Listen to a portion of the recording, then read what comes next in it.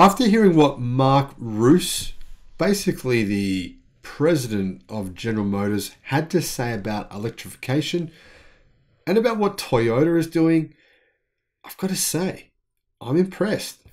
And what he said about Toyota really shows how far ahead General Motors are when it comes to electrification and when it comes to having a successful strategy which will enable them to stave off bankruptcy and likely exist in 10 years' time from now.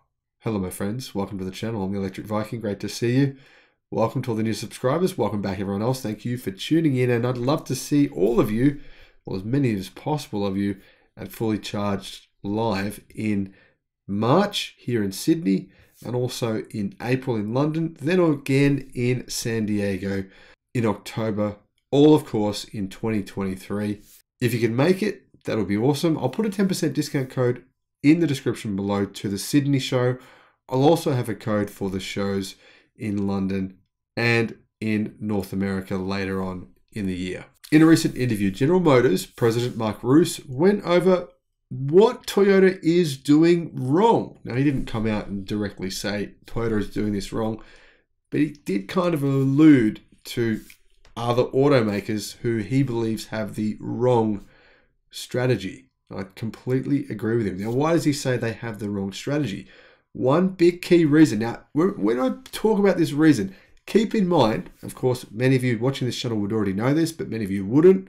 Toyota is the most indebted company, period, on the face of planet Earth. Okay? They only have a limited amount of money that they can spend. Why do I say that? Because, okay, Japan as a country is the most indebted country on the face of the earth. When it comes to comparing Japan's debt to GDP, the ratio is far higher than any other country. Any. Japan has 10 trillion US dollars in debt. 10 trillion US dollars in debt. And its economy is continuing to shrink. It's not growing. What does that mean? Well, the Japanese government can't bail out Toyota when it goes belly up. When eventually people decide they don't want gasoline powered vehicles anymore and Toyota doesn't have a lot much else to offer them, they will start deserting Toyota in droves. That's what will happen. So it's going to be tricky for Toyota because they've put all their money basically into most of their money into the hat of hybrids, hydrogen cars, and plug in hybrids. Not much into EVs. Speaking with Business Insider, Reuss first discussed hybrids. A lot of people still think they're the best option and a good stepping stone, he said pretty clear he's making reference to Toyota. The only real company in the world that's saying that right now, what he said, the only one who's directly saying what he said is Toyota. So I think this is a direct jab at them. Automakers like Toyota are still heavily invested in hybrids and continue to prioritize them over fully electric vehicles. Of Toyota's 20 plus worldwide models, Inside EV says only one of them is all electric, the BZ4X, and well, if you look at the numbers, less than 0.1% of Toyota's global vehicle sales are electric. Reuss believes they are unnecessary, a waste of money in terms of investment for a car company in 2022 and insists that GM has no plans to dilute its investment into electrification with hybrids. Now, you can see the point here. I actually think Toyota's strategy of having hybrids 10 years ago and even five years ago was a good one. The reality is that 10 years ago, the cost to build an EV was way too high for the average person to be able to afford and own one. Yes, there was the Nissan Leaf, but that was a pretty subpar vehicle, and that's not going to fit the needs of probably most people. So I can kind of understand where Toyota was coming from there. But then when the technology came and Toyota continued to deny that the technology existed, even though companies in China were selling EVs at affordable prices on par with gasoline powered vehicles now, and they have been doing that for years. Toyota still kept saying publicly that technology wasn't there to make EVs affordable, or basically they just disclosed the fact that they didn't have it and other companies did, which might be true if you think about it. I mean, Toyota does have a vehicle now, the Toyota Corolla or the BZ3 or whatever you want to call it, that they sell in China, but they don't make it. BYD and FAW make it. In fact, BYD basically makes it. Now, you might be thinking, well, General Motors, are you telling the full truth here? And you'd be right. They're not really. They do and are investing in a hybrid. In fact, I believe it's going to be a plug in hybrid version of the C8 Corvette that's going to come out next year.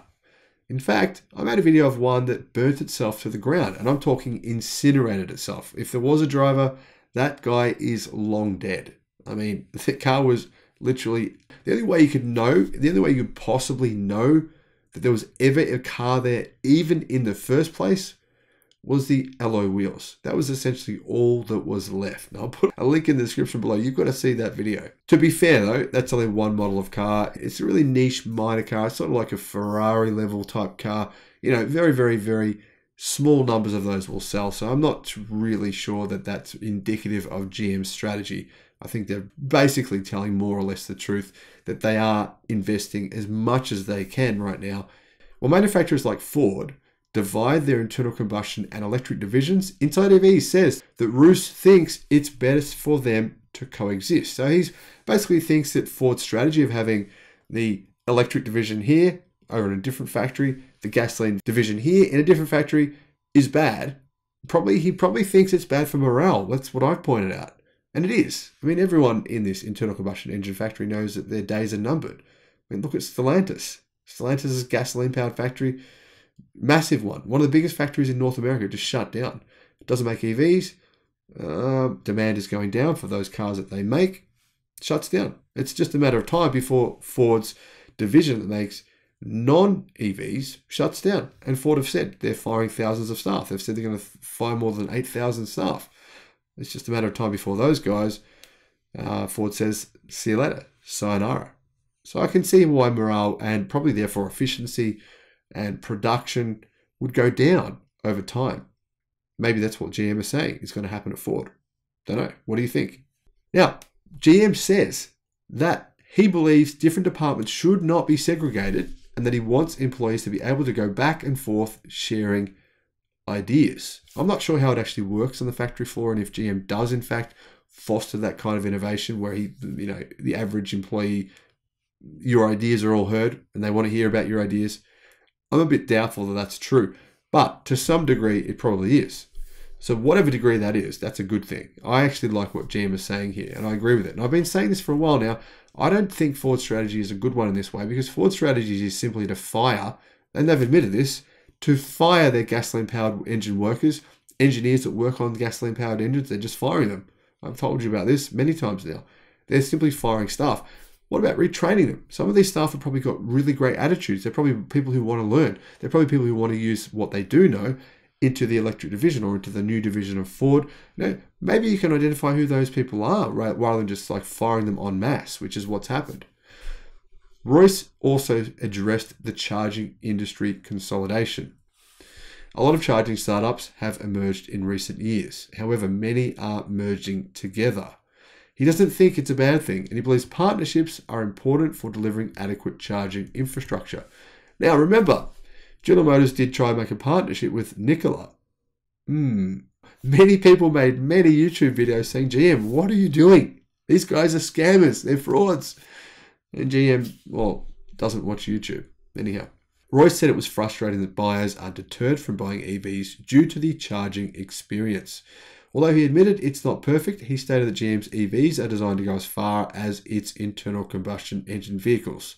Plus, the majority of charging is done at home overnight, in fact, more than 95%, with most EV owners having to rely on public infrastructure only occasionally.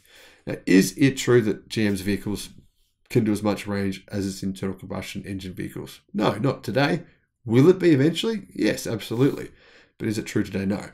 But here's the good thing GM are investing massively in EV chargers.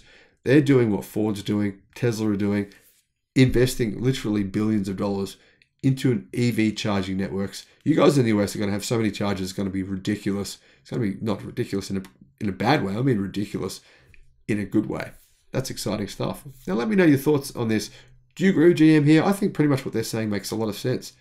I'm thinking that Mary Barra has maybe thought, you know, maybe I should stop saying some ridiculous things, like things making promises that are never going to happen. Maybe I should just let Mark, you know, say some stuff that actually makes sense. That's what I'm saying. Let me know your thoughts in the comments. Thanks for watching. Bye bye.